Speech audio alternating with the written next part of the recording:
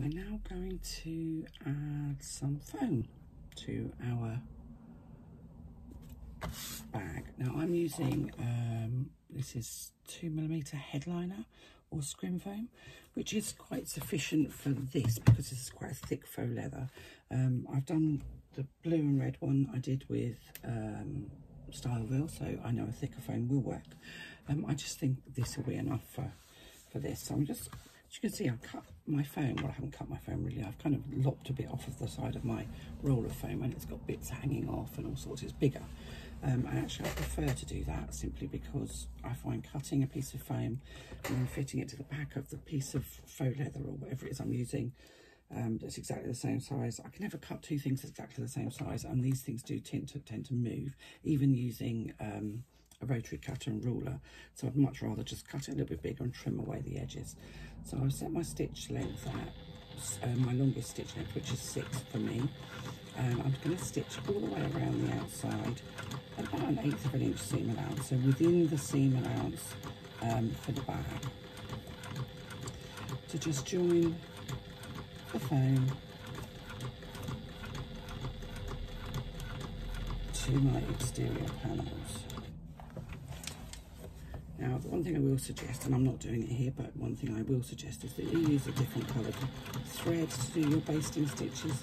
You, are going to be removing all of these stitches, and it's actually a lot easier to see if you use kind of brightly coloured thread. So use a, you know, leery pink or bright yellow, or something that, one of those threads that you've got that you've got in a set that you know you're never going to use.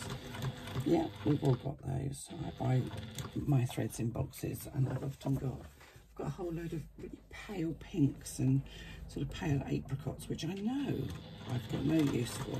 I don't throw them away, I often use them for basting.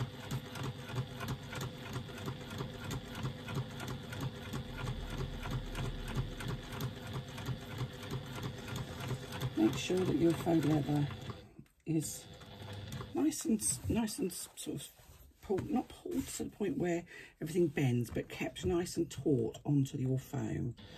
Um, otherwise you'll end up with a slightly bumpy look to your bag, which you don't want.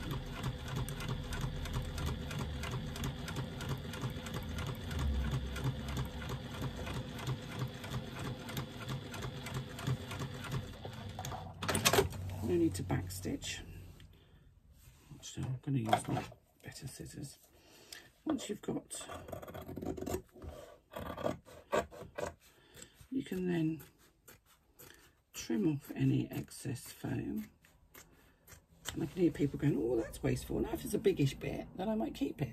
But these are little tiny strips that are not going to be of any use to anybody. So, um, unless you chop them up and use them for packing or filling or what have you. And I know plenty of people that make toys that literally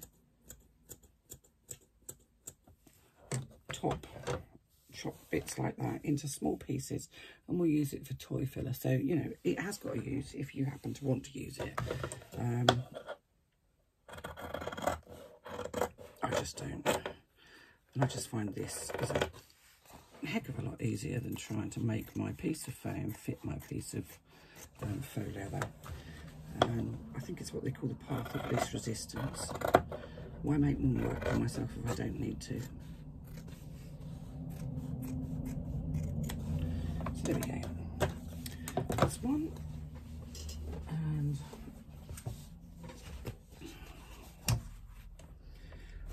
you can see I've already done the top one on this. I've decided that I'm going to keep this one really simple. Um,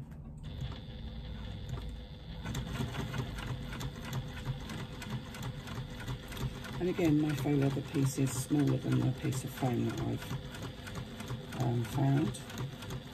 Anybody using scrim foam or headliner, ideally you should lay your faux leather right side up onto the, um, the sort of felted side. Um, this is headliner and it's got my, my headliner has a, a sort of a nylon mesh on one side and a sort of a white felted side on the other side. I always lay my faux leather right side up onto the felted side and it sticks to, it, it tends to stick to it, which I think is useful. Um, a bit like fuzzy felt when we were children. I've referred to that, I think, in every video I've ever made with foam. Um, and I often get questions with, oh, I don't know what fuzzy felt is. Um, I think you have to be a certain age.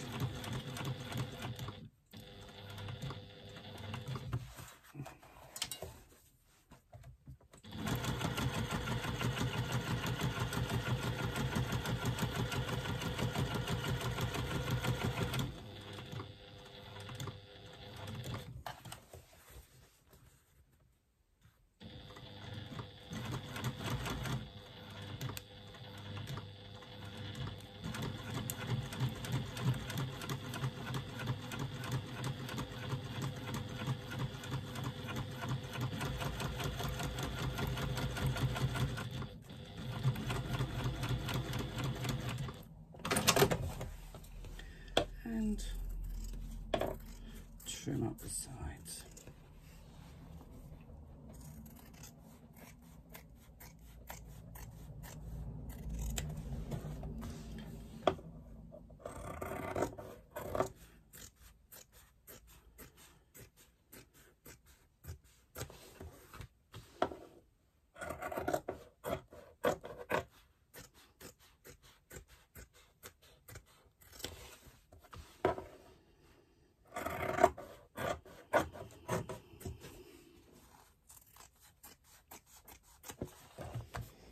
We have the front and the back with the foam um, so basted in place on both panels.